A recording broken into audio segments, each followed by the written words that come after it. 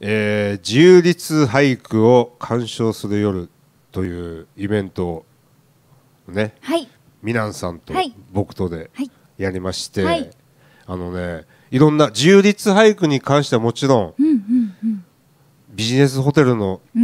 うんいい点悪い点。